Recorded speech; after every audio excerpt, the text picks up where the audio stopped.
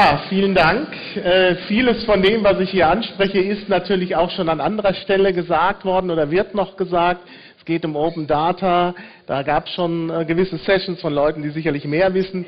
Es geht auch morgen nochmal um äh, die Wikimedia-Projekte. Da gibt es auch Leute, die sich vielleicht besser auskennen. Äh, ich bin eigentlich nur deshalb hierher gekommen, weil ich so ein paar Leute kennenlernen wollte, mit denen ich twittere. Habe aber was falsch gemacht. Jetzt stehe ich hier und ihr seht mich und ich lerne euch nicht kennen. Also vielleicht sprecht ihr mich danach nochmal an, dann hat es vielleicht äh, Sinn.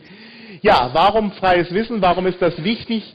Ich halte, äh, also sagen wir mal so, ich fange mal mit einer Anekdote an. Ich war im November auf einer Tagung über die Zukunft, Our Common Future organisiert von der Volkswagen Stiftung und der Mercator Stiftung. Und am Ende kamen die Veranstalter zu dem Schluss, dass die beiden wichtigsten Themen des 21. Jahrhunderts die, der Klimawandel sei und der Zugang zu Wasser. ja. Und da, da fühlte ich mich irgendwie wie im falschen Film, weil ich war ja auch auf der Tagung. Ich bin eigentlich zu dem Schluss gekommen, dass das, das wichtigste Thema des 21. Jahrhunderts das freie Wissen ist oder der Zugang zu Wissen. Denn was nützt mir die Beschäftigung mit, Klima, äh, mit, dem Klimawandel, wenn ich nichts darüber weiß, wenn ich nicht an Daten drankomme, an Wetterdaten oder was auch immer ich brauche, um vielleicht was zu verändern. Und was nützt mir der Zugang zu Trinkwasser, wenn ich überhaupt nicht herausfinden kann, wie ich vernünftig einen Brunnen baue, denn dann wird das kontaminiert und dann ist es hin. Also das ist, äh, man sieht also, der Zugang zu Wissen ist viel, viel wichtiger und ist sozusagen viel fundamentaler. Das haben die Veranstalter nicht gemerkt. Und das liegt auch daran, dass die Veranstalter selber nicht in den Vorträgen sitzen. Ähm, ja, äh, und deshalb habe ich gesagt, ich muss was machen zu, zum Thema freies Wissen. Und als Wissenschaftler fängt man immer am besten mit einer Definition an. Und jetzt weniger wissenschaftlich guckt man dann in die Wikipedia. Äh, ja, also in der deutschen habe ich erstmal nichts gefunden. Da wird man umgeleitet von freies Wissen auf freie Inhalte. Das ist nicht genau dasselbe. Aber es gibt ja die Enhanced Version der Wikipedia, die es leider nur bisher in englischer Sprache gibt. Und da findet man dann, oder fand ich zunächst einen Artikel Free Knowledge. Wer den jetzt sucht, findet den unter Libre Knowledge. Also Libre ist das neue Free. Brauche ich nicht drauf einzugehen. Ihr wisst, da gibt es diese Geschichte mit dem Freibier und so. Also deshalb Libre Knowledge. Und von dem Artikel wird man dann wieder auf einen deutschen umgeleitet mit der Bezeichnung Wissensfreiheit. Der ist allerdings noch relativ kurz und gibt nicht so viele Auskünfte. Und ich glaube auch, dass Wissensfreiheit was anderes ist als freies Wissen. Gut, jetzt auf der Basis des englischen Artikels findet man drei wichtige Punkte, die freies Wissen aus, ausmachen. Nämlich, äh, freies Wissen kann benutzt werden, use, es kann wiederverwendet werden, reuse und es kann wiederverteilt werden, redistribute, und zwar without legal, social or technolo äh, technological restriction. Ja, und darauf habe ich jetzt meine eigene Definition aufgebaut von freiem Wissen, die sieht man jetzt hier. Also ich glaube, ganz wichtig, um von freiem Wissen zu sprechen, muss, man, muss dieses Wissen frei verfügbar sein. Also das ist natürlich das Wichtigste. Ich habe dann natürlich gleich wenn das jemand übernehmen will in die englische Wikipedia. Ich darf das ja nicht, das wäre Original Research oder Theoriefindung.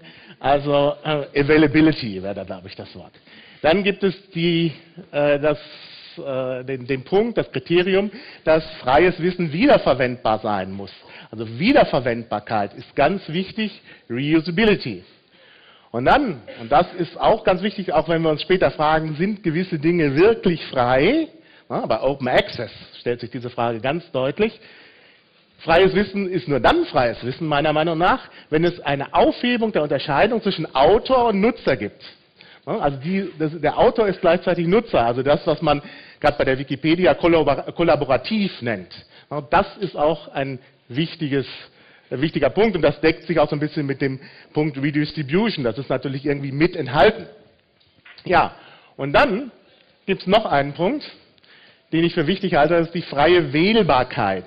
Also ich als Nutzer und Autor natürlich muss frei wählen können, was will ich denn wissen. Es soll also niemanden geben, der mich da anleitet oder mir vorschreibt, was äh, jetzt relevantes Wissen ist und was nicht. Choice nennt man das. Und das ist natürlich ein Kriterium, wonach die Wikipedia streng genommen nicht freies Wissen beinhaltet.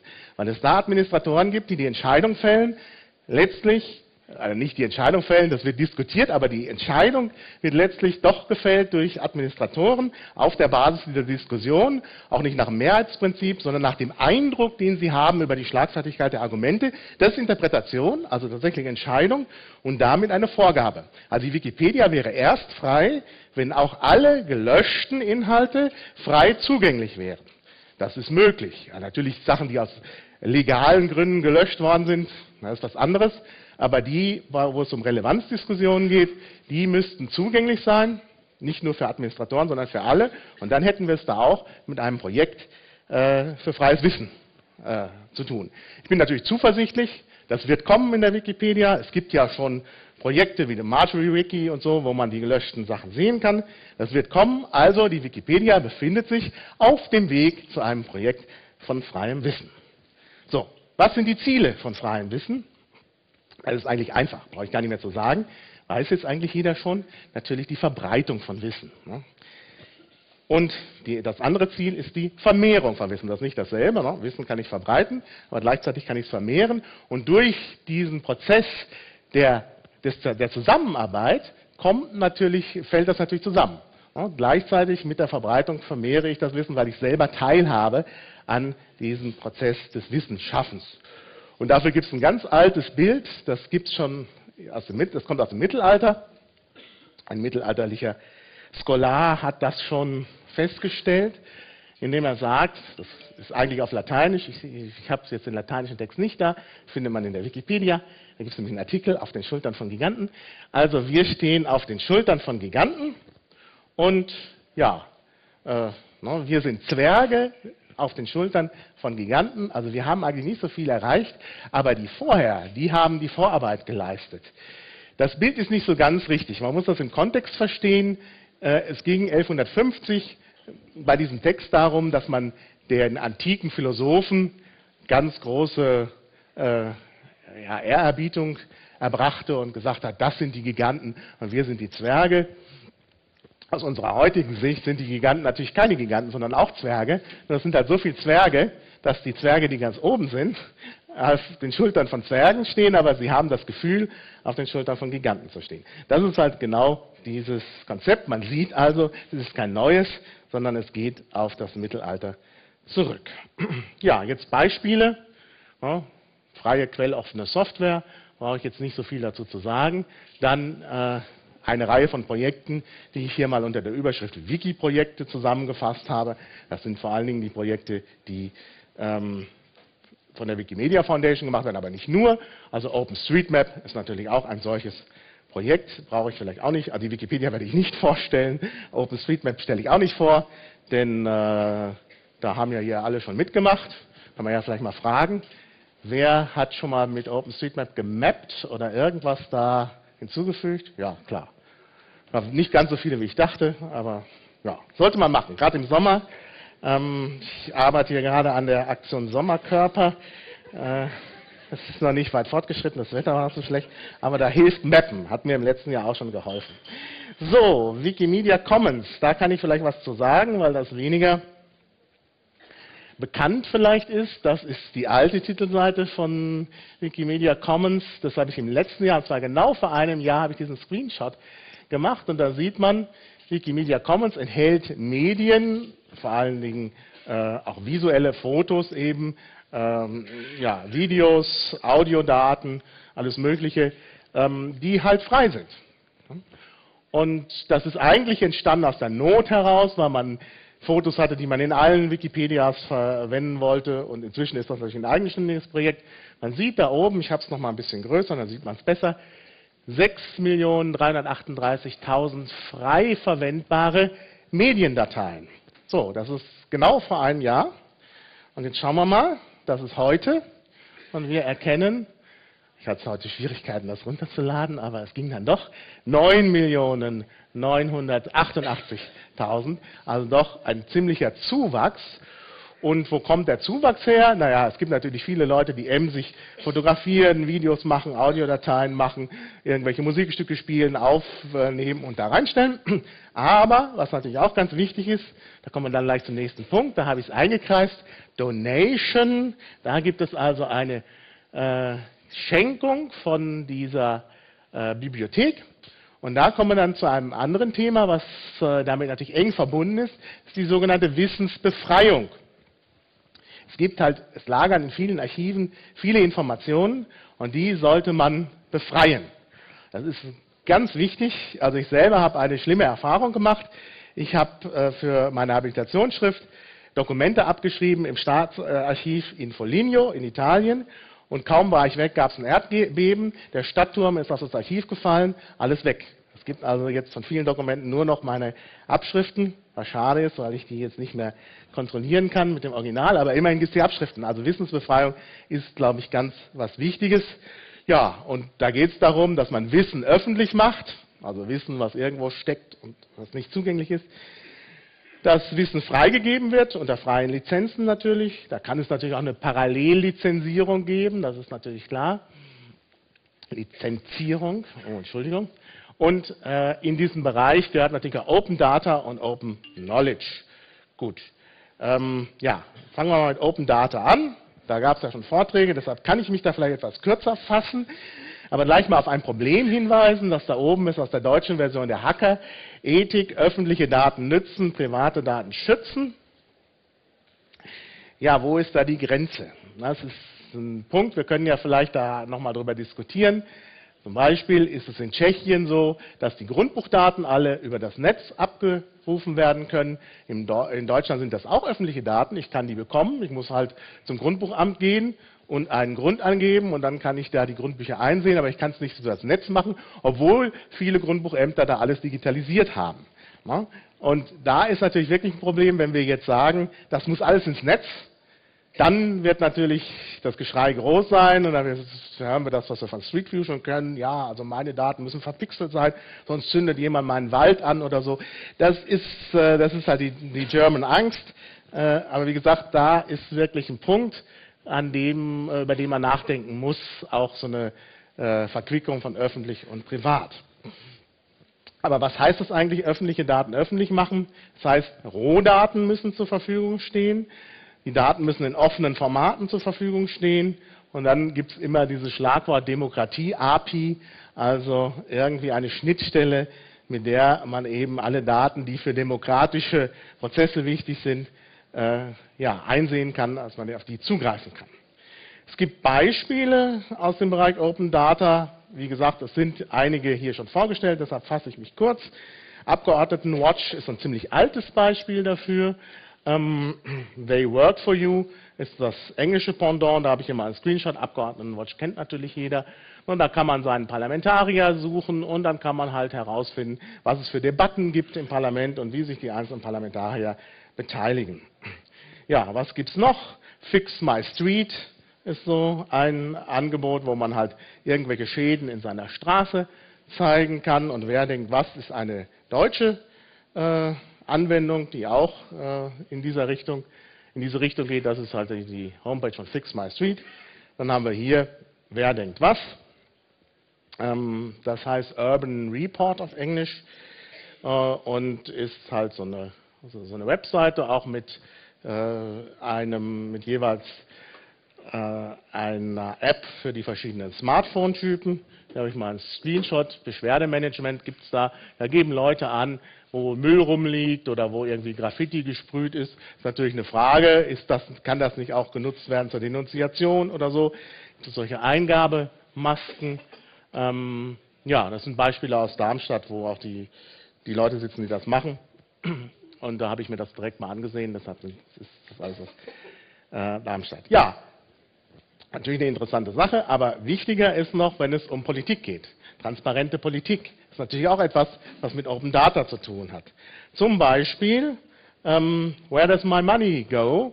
Eine Plattform aus Großbritannien, wo halt, wo man sein Einkommen einstellen kann. Ich habe jetzt hier mal willkürlich 25.000 äh, Pfund angegeben, als sei das mein Einkommen. kenne den Stand des Funds gerade nicht, also nicht, dass jemand denkt, ich verdiene so viel oder so wenig. Ähm, ja, und dann wird das aufgeteilt auf die verschiedenen Ressorts und man kann also sehen, wie das Geld ausgegeben wird. Gibt einen ähnlichen Ansatz in Deutschland, den mancher vielleicht hier kennt, offener Haushalt. Da sieht man, wie halt der Bundeshaushalt aussieht, äh, wie der aufgeteilt ist. Da kann man auch draufklicken und kriegt dann mehr Informationen, sieht das zum Teil da unten. Und das ist natürlich auch sehr, sehr aufschlussreich. Man sieht da schon so die eine oder andere Überraschung. Also allgemeine Finanzverwaltung ist halt sehr viel. Dass das Bundesarbeitsministerium sehr viel ist, wissen wir auch. Äh, und so Sachen, so Wissenschaft und Forschung und so, das ist dann irgendwie da ganz wenig. Das ist also schon sehr anschaulich. Und äh, ja, ist natürlich interessant, vor allen Dingen, wenn man dann in die Details geht, was ich jetzt hier nicht mache. Oder ein anderer Ansatz, Openly Local, da geht es um Kommunalpolitik. Kommunalpolitik ist vor allen Dingen etwas, wo ja viel Interesse besteht und wo man ja auch wirklich persönlich unmittelbar betroffen ist und teilnehmen möchte. Da gibt es also hier diese Plattform wieder aus England, wo man verschiedene, äh, wo man ein, also einen Local Council anklicken kann und dann Informationen bekommt, auch wann die nächsten Sitzungen sind, was es da für Unterlagen gibt und so. Ja, und äh, sowas brauchen wir natürlich auch in Deutschland. Da gibt es tatsächlich ein Projekt, an dem ich selber beteiligt bin, deshalb muss ich jetzt hier diesen kleinen Werbeblock einlegen, nämlich ein Projekt, was im Umfeld der Piratenpartei entstanden ist. Also es ist jetzt kein Projekt der Piratenpartei, aber es haben sich Leute aus der Piratenpartei ausgedacht. Es heißt BVV Leaks. BVV ist die Bezirksverordnetenversammlung in Berlin. Und da haben wir halt die Erfahrung gemacht, dass es da die Steigerung von Internetausdruckern gibt nämlich, die nämlich Internetausdrucker und Einscanner. Wenn man es dann mal schafft, ein PDF zu finden von der Bezirksverordnetenversammlung, das geht, also das, die stellen viel ins Netz, aber das sind oft äh, Bilder, also PDFs, die nicht irgendwie aus Text bestehen, wo man keinen Text rausziehen kann. Und ich habe den Eindruck, ich weiß es nicht, ich habe den Eindruck, dass die das auf dem Computer in den äh, Bezirksverwaltungen schreiben, dann ausdrucken auf dem schönen Briefpapier und dann wegen des schönen Briefpapiers und wegen der Unterschriften drunter das wieder einscannen und dann reinstellen. Das ist natürlich nicht brauchbar. Und es ist auch alles schwer zu finden und unübersichtlich. Und äh, da haben wir uns gedacht, wir müssen da irgendwie weiterkommen. Wir müssen irgendwie äh, dazu kommen, dass die BVV liegt, äh, also leckt, und dass wir da eben Informationen äh, auch äh, zur Verfügung stellen, sodass sich da vielleicht eine Community bilden kann, die äh, kollaborativ sich einmischt in die Kommunalpolitik. Das ist auch für äh, Vertreter in der Bezirksverordnetenversammlung, also für die sogenannten Bezirksverordneten, interessant, denn die können natürlich hergehen und sagen, hm, was meinen denn die Leute zu diesem Projekt, was da nächste Woche behandelt wird?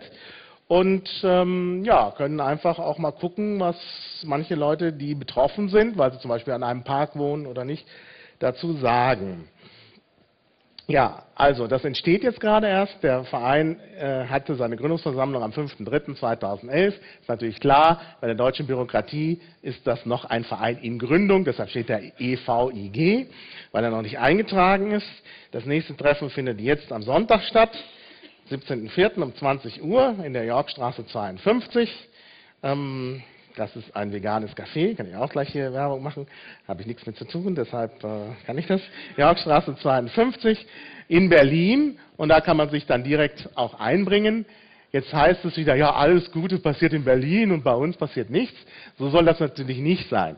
Das heißt jetzt BVV-Leaks, aber die Plattform, die da erstellt wird, die kann natürlich jeder übernehmen irgendwo. Nur es ist nicht sinnvoll, Kommunalpolitik zentral zu organisieren. Also jetzt einen Verein in Berlin zu starten, der für ganz Deutschland Kommunalpolitik macht, das ist nicht sinnvoll. Also das müssen halt Leute in den einzelnen Städten und Gemeinden dann selber machen. Und wie gesagt, die Software, die jetzt gerade entwickelt wird, steht da zur Verfügung. Man kann auch, sich auch beteiligen und dann selber eine zum Beispiel, in Hamburg heißt es ja, glaube ich, Bezirksversammlung, eine, ein BV-Leaks aufsetzen oder wie auch immer das heißen mag.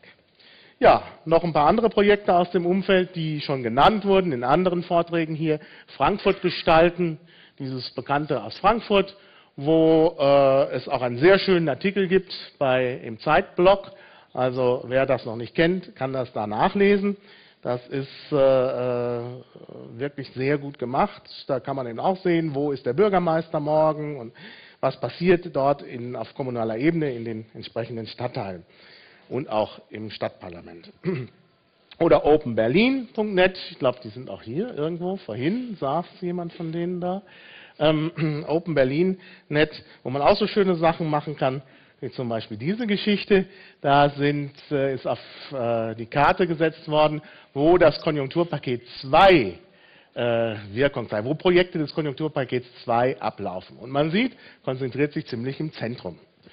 Und unter anderem soll ja auch das Konjunkturpaket 2 sozial wirken. Wenn man jetzt aber guckt, wo soziale Brennpunkte sind, hier sind so ein paar Karten am Rand, oh, Jugendarbeitslosigkeit und so, dann sind die gerade da, wo keine Projekte des äh, äh Konjunkturpakets 2 stattfinden. Und das kann man halt schön sichtbar machen und damit natürlich auch politischen Druck ausüben. Also wirklich eine sehr interessante Sache. Ja.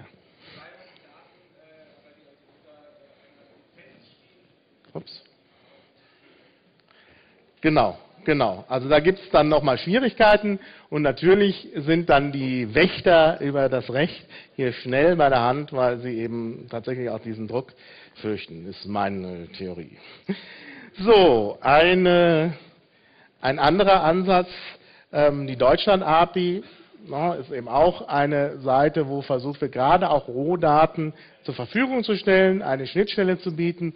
Das machen die Leute von Wahl.de die ja zum Beispiel auch diese schöne Smartphone-App gemacht haben, wo man sehen kann, wie aktiv ein Kandidat im Netz ist. Also auch sehr schön, kann ich auch nur empfehlen. Ja, oder hier ein, äh, eine Aufarbeitung von äh, Open Data äh, bei Zeit.de. Die haben so eine schöne Karte gemacht, wie viele Menschen leben im direkten Umkreis von Atomkraftwerken. Kann man auch so einen Slider machen. Äh, der geht jetzt automatisch auf 30, weil ja auch in Fukushima jetzt die 30 Kilometer Zone die Sicherheitszone in Anführungszeichen ist. Eigentlich müsste man bis 80 gehen, dann sind aber so viele Millionen Menschen betroffen, das ist dann auch wieder beunruhigend. Aber man sieht halt hier, das sind Daten, die sind halt tatsächlich aus offenen Quellen, also das Statistische Bundesamt ist dort gefragt, Wikipedia zu den Informationen über die Atomkraftwerke vor allen Dingen. Und ähm, dann kann man so eine schöne äh, Karte erstellen. Das ist also schon sozusagen die, die Aufbereitung der Rohdaten. Und man sieht also, dass man mit offenen Daten auch was machen kann, mit dem man letztlich ja Geld verdient. Denn Zeit.de hat ja dann auch ein Werbeangebot und so. Also das ist ja durchaus auch schon ein Nutzen, der in gewisser Weise kommerziell ist. Weniger kommerziell, aber eben vergleichbar. Hier RDTN, das ist das Radiation Detection Network in Japan, wo sich auch Leute zusammengetan haben, die halt Radioaktivität messen. Und zwar genau deshalb, weil es, äh, ja, weil äh, da immer im Trüben gefischt wird und naja gut, es gibt auch offizielle Informationen, die da reinfließen und dann eben auch so gemessene, man sieht das da, also auch äh, eine Initiative von Leuten, die halt sich zusammengetan haben und eben äh, nicht alles nur den offiziellen Stellen überlassen, sondern eben auch selbst äh, was tun. Und da ist in dem Zusammenhang natürlich auch äh, die Geiger Crowd, die halt gerade in Japan, das lief über den Hackerspace in Tokio, dann eben tatsächlich Messwerte, eigene Messwerte mit Geigerzählern ins Netz stellen wollen. Das Projekt ist halt gerade im Aufbau. Ja, einen Überblick über all diese Projekte gibt es natürlich auch beim Open Data Network. Ähm, also wer äh, das noch nicht kennt, da kann man draufklicken und sich weitere Informationen holen. Ansonsten gibt es noch weitere Informationen, die leider auch jetzt so ein bisschen schnell veraltet äh, in, de, in, einer äh, Publikation von ähm, äh, Collaboratory ähm, mit dem schönen Titel Offene Staatskunst. Da geht es natürlich auch um E-Government und so, aber eben auch um Open Data und da gibt es auch eine Auflistung von Projekten im Oktober 2010 in Deutschland und auch in äh, anderen Ländern. Also auch sehr interessant. Und das schreit natürlich gerade dazu, dass es ein Wiki geben soll, wo man einfach die Projekte einträgt. Gibt es natürlich auch noch mehr offene Daten bei offenedaten.de ein offenes Register von äh, Open Data Projekten oder überhaupt von offenen Daten, an die man kommen kann, mit, in, äh, mit äh, inzwischen über 300 Einträge. Ich weiß nicht genau, wie gut das funktioniert. Kann man vielleicht in der Diskussion noch klären, äh, denn es waren auch im letzten Jahr schon drei, ungefähr etwas mehr als 300 Einträge. Aber eigentlich müsste das sehr wachsen. So, kommen wir jetzt von Open Data zu Open Knowledge, was natürlich mehr ist als nur Open Data. Natürlich geht es hier auch um Daten, und zwar insbesondere um Daten aus Wissenschaft und Forschung. Es geht um Inhalte, äh, Musik, Filme, Bücher, gehören natürlich auch zum Wissen und vieles mehr. Äh, und um allgemeine Informationen aus Regierung und Verwaltung, das ist eben Open Data. Also man sieht, Open Data ist ein Bestandteil von Open Knowledge und wichtig ist natürlich auch Open Access. Ja, ähm, da gibt es auch Leute, die sich damit beschäftigen, also die Open Knowledge Foundation, die ja immer die Open Knowledge Conference macht und die nächste findet demnächst in Berlin statt. Ich habe mich da schon angemeldet. Ähm, da gibt es natürlich dann noch mehr Informationen. Äh, deshalb, ja, werde ich da jetzt auch nicht so sehr auf Einzelheiten eingehen. Eine Frage, die mich aber bewegt und auf die ich noch eine Antwort suche, vielleicht dann letztlich auf der Open Knowledge Conference, ist tatsächlich das Verhältnis von offen zu frei. Denn das ist ja nicht das Gleiche. Und ähm, was ich halt beobachtet habe und was ich als problematisch ansehe, ist, dass ja Open Access natürlich äh, Open Access natürlich bedeutet, dass Autoren eventuell ihre Publikationen finanzieren müssen, aber nicht jeder hat dazu Geld, beziehungsweise es gibt Fachzeitschriften, die an Institutionen angeknüpft sind. Und da muss man erst Mitglied dieser ähm, Institution sein, um was veröffentlichen zu können. Das halte ich wieder für eine gewisse Beschränkung. Also da muss es eigentlich noch andere Strukturen geben, die bisher noch nicht richtig geschaffen wurden, zum Beispiel Vereine, äh, wo man leicht eben auch, natürlich über Peer Review und sowas, dann auch äh, Sachen veröffentlichen kann. Also Open Access ist, glaube ich, nur dann wirklich frei, wenn es irgendwie verknüpft ist mit so einer Art Open Peer Review. Das ist aber noch nicht so sehr verbreitet und äh, von daher sehe ich da ein gewisses Problem. Das gleiche Problem kennen vielleicht auch Leute aus äh, Universitätsbibliotheken. Den Bibliothekszugang gibt es oft nur für Mitglieder. Also ich habe es äh, ganz deutlich mal gesehen in Hamburg bei der Bucerius Law School. Äh, die waren ganz stolz darauf, dass man die Bibliothek 24 Stunden benutzen kann, aber nur wenn man die Chipkarte hat. Aber wenn man die nicht hat, kommt man halt nicht rein.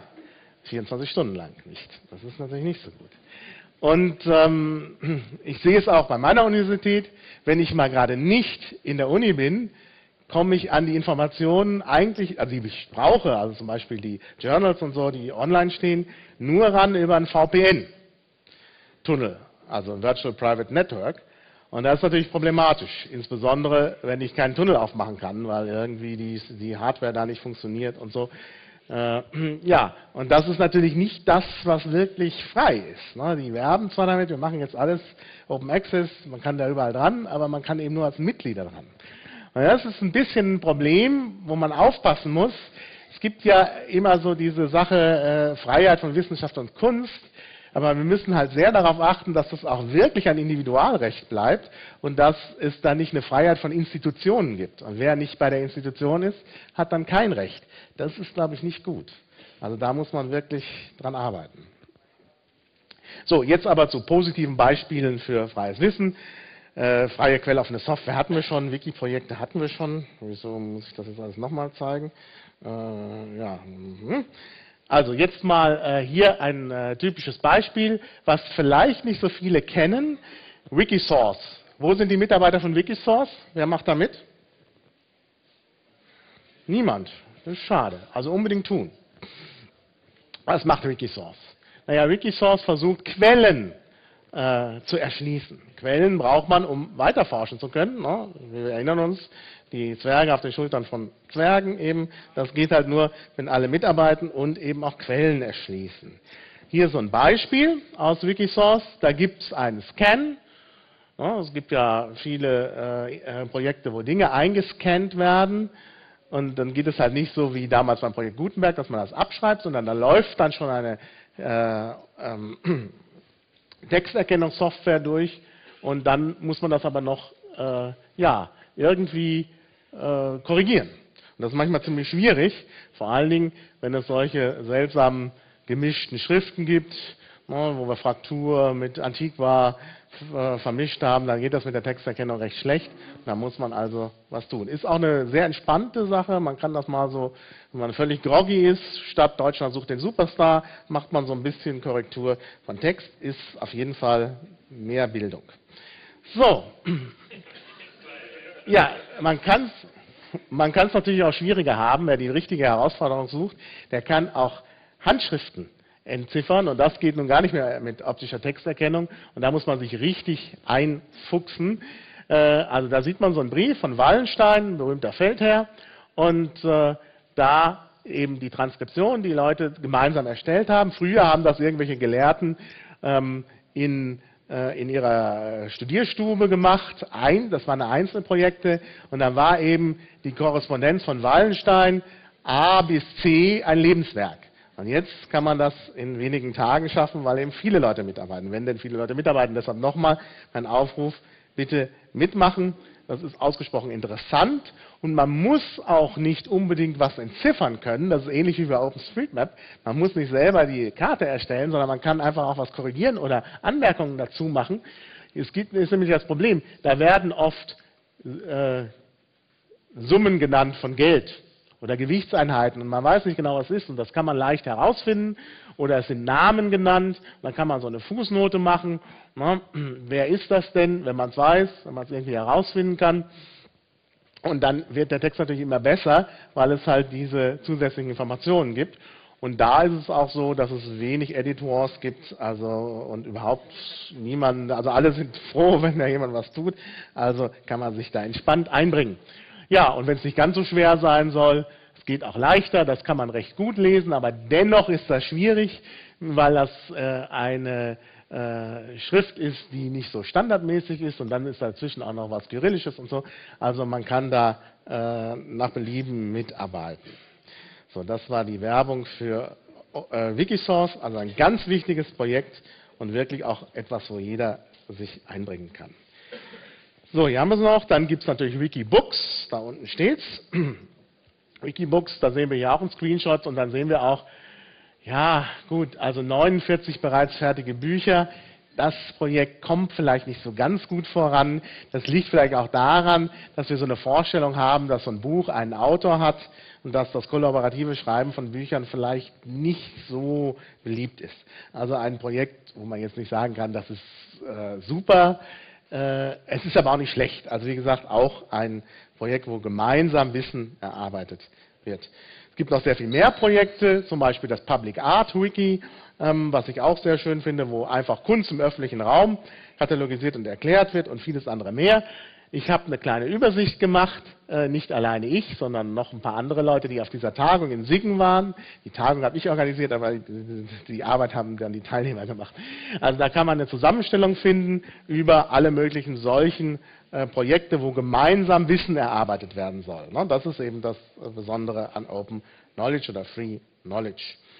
Ja, in dem Bereich gehören natürlich auch die Creative Commons Lizenzen wobei es natürlich da unterschiedliche Freiheitsgrade gibt, wie wir alle wissen. Ne? Also äh, zum Beispiel dann hier auch Non-Commercial, was immer problematisch ist, weil in Deutschland kommerziell irgendwie sowieso alles ist. Ähm, dann die Non-Derivative, wo man keine Ableitungen machen darf und so. Natürlich ist es immer gut, möglichst frei die Sachen zu machen. Und manchmal hört man dann von Hobbyjuristen, dass es die freiste Lizenz, die CC0, in Deutschland gar nicht gibt, denn die bedeutet, so wird behauptet, Public Domain und das gibt es so in Deutschland nicht. Wenn jemand was gemacht hat, kann er sein Urheberrecht nicht loswerden, weil das Urheberrecht als Persönlichkeitsrecht unveräußerlich ist und deshalb wird gesagt, das geht nicht. Aber es geht doch. denn, also ich bin natürlich auch kein Jurist, ich sage jetzt auch mein Hobby, meine Hobbymeinung. Äh, das bedeutet ja nicht, äh, das, man muss ja nicht sagen, dass das in Deutschland dann Public Domain ist, wenn es das Konzept in Deutschland nicht gibt. Dann kann mal trotzdem sagen, dass der Autor, der Urheber hier anzeigt, ihr braucht meinen Namen nicht zu nennen. Na, natürlich bleibt der Urheber, aber er verzichtet dann auf die Namensnennung. Und das kann man, glaube ich, wirklich ganz gut machen. Funktioniert auch. Na, ich habe da mal so ein Bild von der von der Leyen erstellt. Und in der Wikipedia steht jetzt erschienen am 15. April anonym im Netz. Gut, man muss nicht alles glauben, was in der Wikipedia steht, aber immerhin, ich bin nicht betroffen, ich habe damit nichts zu tun und das ist ja auch ganz angenehm manchmal. Gut, also, wie, äh, ich möchte jetzt nochmal sagen, ich habe vorhin schon aufs Mittelalter verwiesen, aber die Idee vom freien Wissen ist äh, auch sonst nicht neu.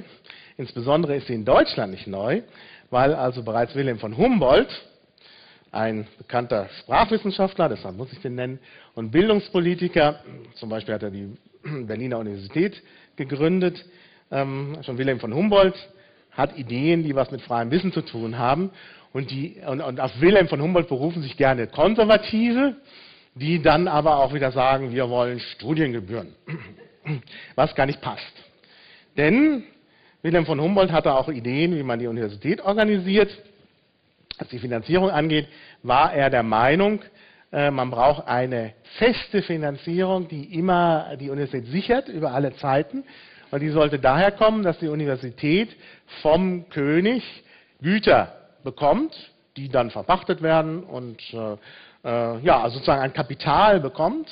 Und dieses Kapital ist halt immer da und verschwindet auch nicht und damit ist eine Grundfinanzierung gesichert. Und dann gibt es zusätzlich die Möglichkeit, Beiträge zu bekommen. Und das sind jetzt keine Studienbeiträge, auch wenn äh, die Bertelsmann Stiftung sich ja dafür eingesetzt hat, dass die Studiengebühren Studienbeiträge heißen sollen.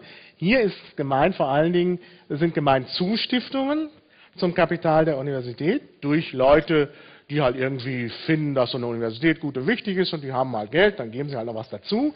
Aber die Universität wird davon nicht abhängig, weil sie durch die Domäniengüter halt immer unabhängig ist, also durch das Kapital, was sie hat. Und außerdem gehören dazu natürlich auch Steuern und Abgaben. Also die Universität soll wirklich durch alle, durch die Nation, äh, ja, finanziert werden, weil eben die weil, ist, weil eben Bildung eine Angelegenheit für alle ist und von allen. Nur weil halt Steuern schwanken, ne? in Kriegszeiten, das war bei Humboldt so, waren halt keine Steuern da, war alles ausgegeben, so wie äh, jetzt nicht nach Kriegszeiten, sondern wenn halt irgendwelche Landesbanken da irgendwie ähm, pleite gehen, dann ist eben kein Geld mehr da. Und dann soll eben nicht gespart werden müssen, sondern dann soll es eine Grundfinanzierung geben, dieses Grundkapital, was nicht angerührt wird. Ja, damit hat er sich natürlich nicht durchsetzen können. Er ist dann abgewählt worden oder abberufen worden als äh, äh Minister für, für Erziehung und Unterricht, weil halt natürlich die, die Leute, äh, die, also die, die Junker, Großgrundbesitzer, äh, keine Konkurrenz durch die Domänengüter des Königs in Verwaltung von Universitäten haben wollten. Das kam nicht gut an. Aber der Gedanke ist an sich sehr, sehr gut und äh, ist eben auch, und wenn man von, mit von Humboldt spricht, dann sind immer alle konservativen Politiker geraten in Verzückung, finden das ganz toll, aber die Ideen sind eigentlich viel revolutionärer und deshalb kann man auch mit Humboldt ganz gut argumentieren. Ja, vor allen Dingen seine wichtige Forschung, die ich auch sehr, für sehr wichtig halte, Bildung frei von staatlicher Lenkung. Was an den Universitäten geschieht, geht halt die Leute an, die an den Universitäten sind. Das heißt, äh, die Professoren, Studenten, wissenschaftliche Mitarbeiter, die entscheiden, was da abläuft und nicht irgendwelche Wirtschaftsrepräsentanten oder Bildungspolitiker. Und natürlich, wenn der Staat jetzt irgendwelche Leute braucht, dann kann er natürlich selber prüfen, aber das macht er erst hinterher durch die sogenannte Staatsprüfung. Das wird im Augenblick auch verändert. Wir wissen alle, ne, jetzt geht es darum, dass die Prüfungen schon im Studium vor allen Dingen stattfinden und damit eben auch der Staat reingemischt wird in die Dinge, die an der Universität passieren und das ist also auch keine richtig gute Idee. Denn es ist einfach, die Universität ist damit nicht mehr frei. Und Bildung und Wissen müssen halt frei sein.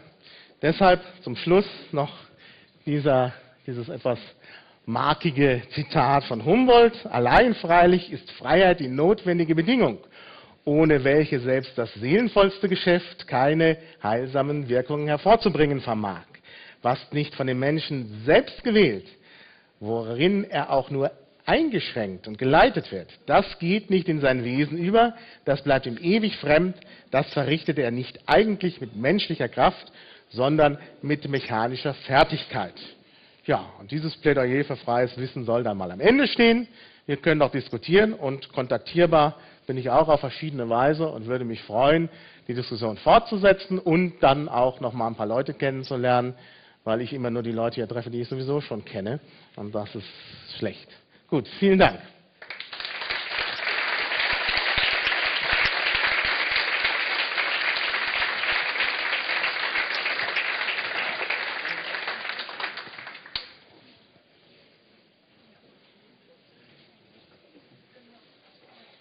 Da gibt es irgendwie einen Moderator, glaube ich, oder? Sonst. Äh nee, gibt es glaube ich nicht. Also wer was sagen will, soll es einfach sagen. Ich sehe nichts, weil ich hier geblendet bin. Ah, jetzt gibt es weniger Licht, jetzt sehe ich mehr. Ah, bitte.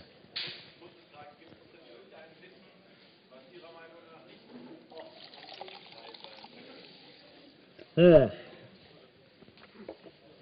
Tja, eigentlich sollte es das nicht geben. Also unfreies Wissen sollte es nicht geben. Insofern ist vielleicht die Sache mit der Wissensfreiheit gar nicht so ein schlechtes Konzept. Also es ist natürlich schon so, ähm, das ist die alte Debatte um Datenschutz, die auch an anderer Stelle ähm, geführt worden ist, dass äh, natürlich Individuen einen Anspruch auf informationelle Selbstbestimmung haben. Also jeder darf selbst entscheiden, wie viel er von sich preisgibt. Da gibt es natürlich schon das Problem, dass man äh, da Wissen für sich behalten kann und äh, nicht unbedingt Wissen preisgeben muss. Das ist, glaube ich, auch ganz sinnvoll, auch in der Wissenschaft. Wenn ein Forscher plötzlich irgendwie entdeckt, wie man die, äh, wie man die Menschen äh, mit so ein bisschen Zutaten aus dem Haushalt alle umbringen kann, dann kann er sich vielleicht überlegen, oh, das äh, behalte ich lieber für mich, weil das keine gute Idee ist. Hat in der Vergangenheit nicht funktioniert, wir wissen, also mit, dem, mit der Atombombe und so. Naja, gut, aber da sollte natürlich jeder die Freiheit haben, Sachen für sich zu behalten. Aber der Staat oder irgendwelche Unternehmen, die haben natürlich nicht das Recht, äh, irgendwie Wissen für sich zu behalten. Das tun die zwar manchmal, weil sie irgendwelche besonderen Interessen verfolgen. Aber dann ist es gut, wenn es Leute gibt, die aufpassen, als Whistleblower, also insbesondere beim Staat, und dann vielleicht dieses Wissen offenlegen. Ja, da kann man natürlich ähm, auch wieder streiten. Bestimmte Dinge muss, müssen vielleicht eine gewisse Zeit geheim gehalten werden. Gut, das kann der Staat dann tun, aber äh, er sollte damit nicht übertreiben und sollte halt auf jeden Fall die Möglichkeit geben, dass jemand das äh, sowas auch offenlegen kann. Ja, das ist klar. Das aber das ist natürlich ein Streitpunkt. Aber das Recht auf Geheimhaltung hat nur ein Individuum, hat nicht der Staat und auch nicht ein Unternehmen. Ja. Was ist deine Position Public Domain versus GPL, Copyleft, was auch immer, also die alte Frage, was ist frei? Ja. Ähm, genau, also das ist natürlich ein schwieriger Punkt, aber ich habe es ja, glaube ich, am Anfang gesagt. Man muss die Dinge wiederverwerten können und man muss äh, die Dinge auch, äh, also es muss kollaborativ gearbeitet werden können und man muss die Wahl haben, ähm, äh, bestimmtes Wissen sich anzueignen oder nicht anzueignen. Äh, und aus, aufgrund dieser Kriterien ist natürlich klar, dass es nicht ausreicht, dass irgendwie ein Musikstück auch umsonst im Internet verfügbar ist. Aber ich kann es nicht irgendwo abspielen in meinem Podcast, weil dann sich die GEMA meldet. Das, das geht natürlich nicht. Also da ist natürlich klar, dass frei mehr ist, als nur, dass ich es umsonst haben kann. Ähm, das, das geht aus der Definition ganz eindeutig hervor. Deshalb war mir das ja so wichtig, diese vier Punkte zu haben am Anfang. Ähm, nämlich, äh, dass das eben hier, ich kann es ja nochmal zeigen, dass eben äh, freies Wissen sich auf jeden Fall erst daraus ergibt, dass, ähm, äh, dass etwas wiederverwertbar ist, dass man kollaborativ arbeiten kann, also Collaboration und Choice müssen auf jeden Fall dazugehören. Von daher würde ich auch sagen, sind gewisse Lizenzen freier als äh, ja, ne, Public Domain bedeutet ja auch, dass ich alles benutzen kann. Also Public Domain wäre dann schon am freisten, weil ich damit ja wirklich alles machen kann. Das Problem ist halt nur, in Deutschland ist es mit dem Public Domain schwierig, wenn es einen Urheber gibt, hat er natürlich ein Urheberrecht, weil er das von Natur aus bekommt und darauf nicht verzichten kann. Ja.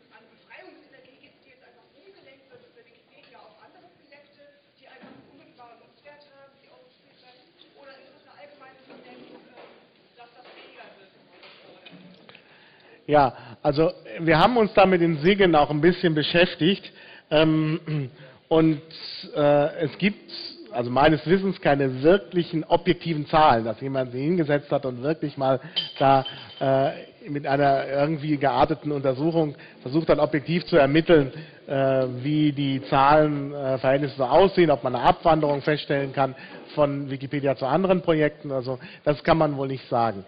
Es ist allerdings so, wenn man alle Projekte zusammennimmt, allein bei Wikimedia und im Umfeld von Wikimedia, also, OpenStreetMap dazu nimmt, dass es eigentlich, dass man so grosso modo den Eindruck gewinnt, und ich glaube, das ist auch wirklich so, dass insgesamt immer mehr Leute an kollaborativen Projekten äh, teilnehmen. Ja, das, also das ist schon mal ganz positiv, dass bei der Wikipedia die Autoren verschwinden, gut, also das ist dann nochmal ein gesondertes Problem. Ich bin mir da auch nicht sicher, ob das wirklich auch so stimmt, wie das immer gesagt wird. Ne, da sind natürlich Leute, die auch Interessen haben und es kommen unterschiedliche Interessen zusammen. Einerseits möchte die Wikipedia, möchte Wikimedia natürlich sagen, Leute, tut was, wir brauchen mehr Autoren. Auf der anderen Seite gibt es natürlich Leute, die sagen, guckt mal, bei der Wikipedia funktioniert es ja gar nicht mehr so richtig. Also hat jeder so seine Interessen. Ähm, man müsste das richtig also untersuchen, indem man eben auch so äh, Leute rausrechnet, die mal da sind, mal wieder da sind und dann wieder weg sind oder nur ein Artikel. Äh, also wie gesagt, aber es gibt da ja auch gewisse Statistiken äh, bei der, äh, also bei Wikipedia, wo man da auch mehr Klarheit gewinnt. Wie gesagt, da ist oft in der Argumentation so ein bisschen was interessengeleitet ist. Deshalb würde ich das aufgreifen. Eigentlich müsste man da jetzt richtig gute Untersuchungen machen. Gibt ja Leute in, in Frankfurt, der, ich glaube Stegmüller heißt der, und auch in Bamberg gibt es Leute, die äh, Untersuchungen machen zur Wikipedia im Rahmen der Sozialwissenschaften oder Kommunikationswissenschaften in Bamberg. Äh, aber die Projekte sind halt noch nicht so weit, dass man wirklich was Verlässliches sagen kann.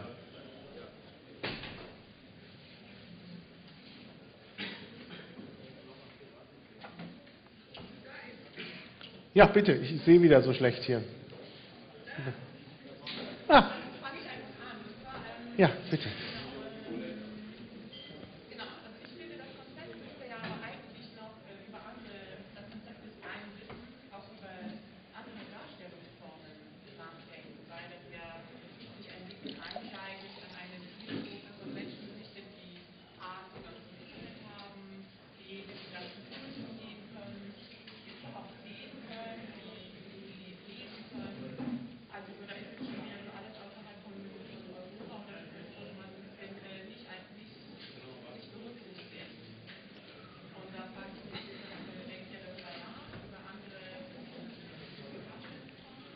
Also, ähm, ich, de, ja, also es ging um, äh, also es wurde gesagt, dass ähm, die Darstellungsformen relativ einseitig sind. Also insbesondere, also es ist nicht gesagt worden, Text und etwas Visuelles. Ist das richtig? Ja. Äh, und ähm, dass es halt Leute gibt, die nicht so einen leichten Zugang zu solchen Darstellungsformen haben, aber sich vielleicht auch einbringen können. Und ob es da Gedanken gibt, das zu erweitern. Ähm, möglicherweise ist das meiner Darstellung auch hier geschuldet. Ich, ich habe natürlich Folien gezeigt, wo man immer was Visuelles äh, gerne zeigt. Ja, äh, es ist natürlich schon so, bei den Dateien bei Wiki Commons sind zum Beispiel sehr viele Audiosachen dabei. Und äh, gerade Audiodateien sind ja auch ganz anders geartet und Leute, die zum Beispiel blind sind, können damit sicherlich mehr anfangen. Also das ist schon ein weites Feld an Medien. Und äh, ich habe das jetzt einfach nicht vorgeführt. Also man kann unheimlich viele Musikstücke und so dort auch finden, auch Leute, die irgendwas singen oder so. Und damit kann man, hat man natürlich auch Zugang zu äh, eher oralen Traditionen. Also das ist schon, äh, das ist schon mit beachtet. Es gilt übrigens auch für die Wissensbefreiung. Es gibt ja unheimlich viele Tondokumente, ähm, die man da eben auch noch einspeisen könnte. Da sind auch ein paar Leute dabei, die versuchen da an Material zu kommen. Also es ist nicht nur visuell, es ist zumindest auch äh, eben das Akustische. Da gibt es natürlich noch sehr viel mehr, das ist klar.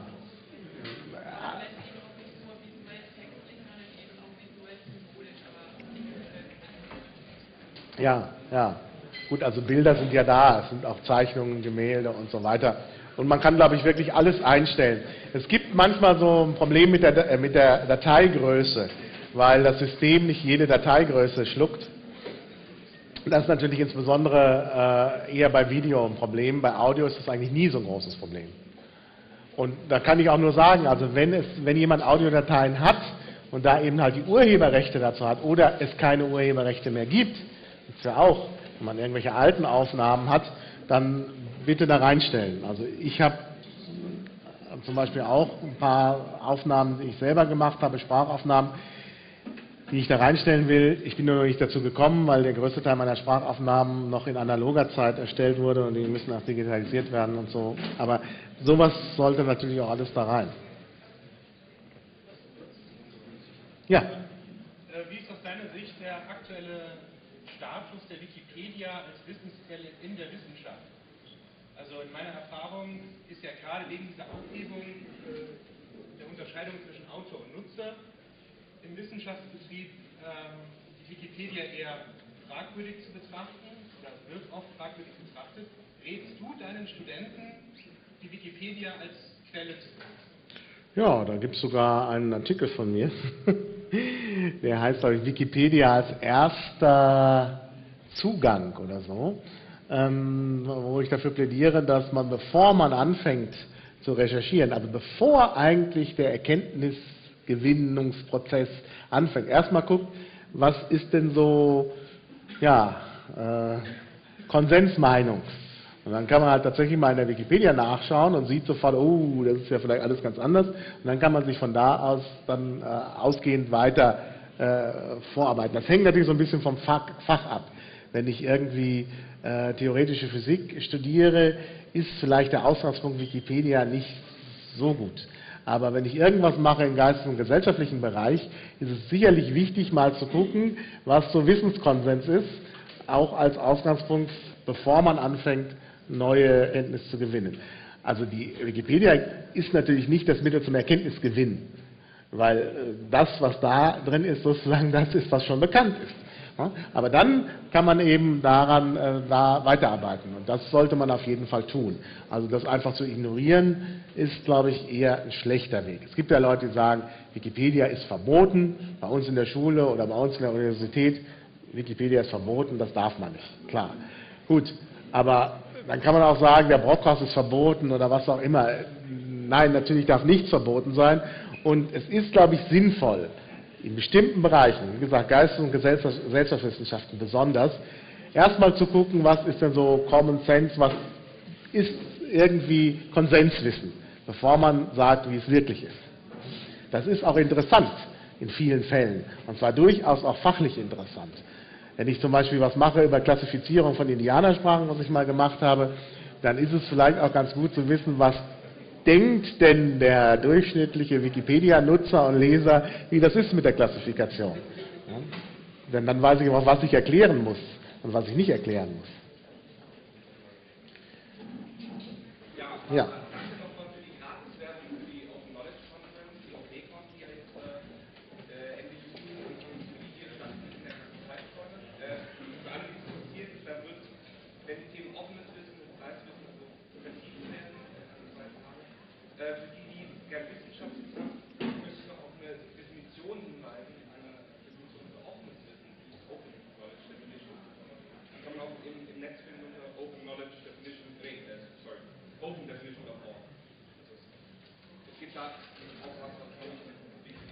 Gut, also um es nochmal zu wiederholen für alle, es gab nochmal den Hinweis auf die Open Knowledge Conference.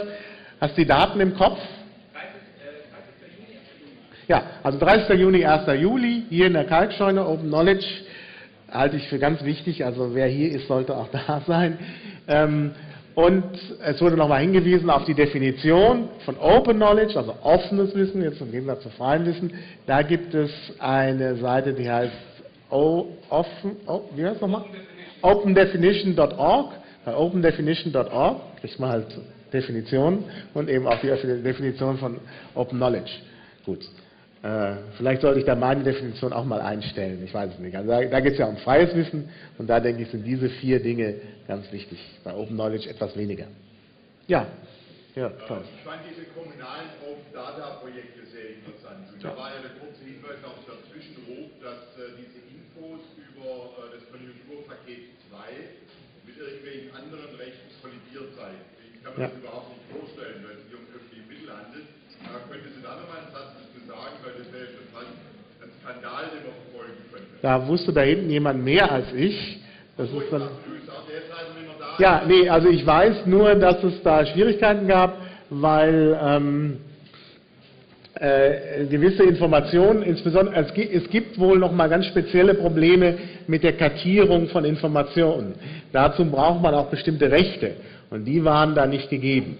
Aber Ich kann dazu auch noch was sagen. Letztlich war ging es halt auf der, auf der Webseite äh, der Berliner äh, Senatsrat für Klar. Stadtentwicklung, da steht halt unter, die Informationen können genutzt werden für die private Nutzung. Und die Wiederveröffentlichung im Netz fällt halt nicht unter die private Nutzung. Insofern hätten wir halt die Rechte erstmal klären müssen, beziehungsweise die Daten eben kostenpflichtig entstehen können.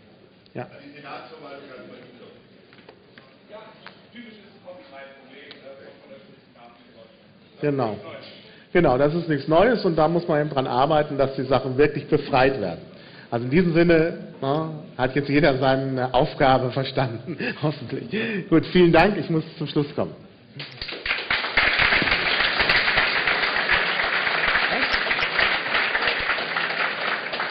Dankeschön. So, da ist noch meine Tasche.